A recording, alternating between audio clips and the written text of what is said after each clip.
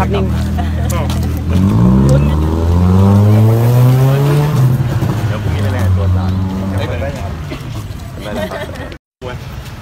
เขาไม่ได้ถ่าย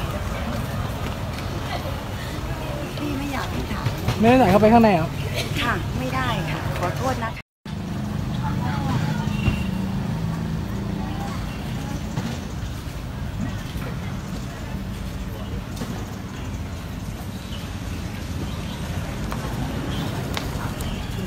ช้าๆเลยครับคุณหญิงครับคุณหญิงครับก็มีนะครับตะยองครับ